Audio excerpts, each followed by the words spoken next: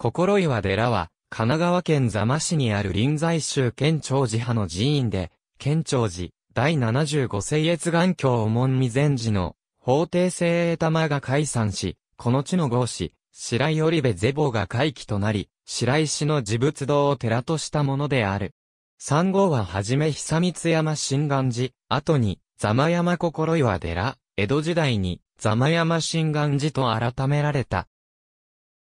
新編相模国風土機構に、以下の記述がある。心岩寺座間山とゴース、臨済宗解散を精鋭という回帰は、白井織部ゼボーなり本尊釈迦を安ず、ゼボーは心岩寺の回帰にて、応仁文明頃の人なり、当時座間七村の自当職なり使徒伝府、心岩寺の本尊で、平安時代末期から鎌倉時代初期の制作であると考えられる。造像当時は金箔押しであったが、現在ではほとんどが剥落し、わずかに衣竹のひだに残るだけである。岩木常隆の追善供養のために寺の住職が建立した。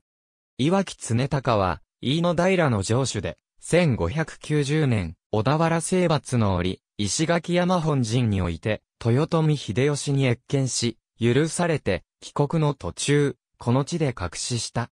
寺の東側大地に、縄文時代中期の遺跡が分布し、南方約100メートルに、鈴鹿横穴群があることなどから、戦死時代からの生活用水だったと考えられる。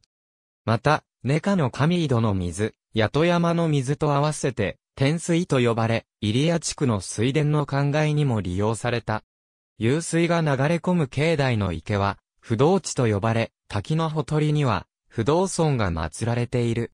本堂に向かって、左側に、一つバタゴがあり、初夏に、可憐な白い花を咲かせる。ありがとうございます。